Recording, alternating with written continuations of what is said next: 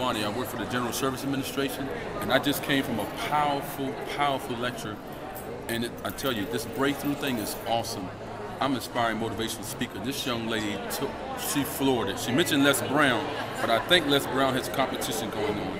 For those of you who have never heard her speak before, I think you need to take time to go to one of her next sessions, get to her email, get one of her CDs, and hear what she has to say.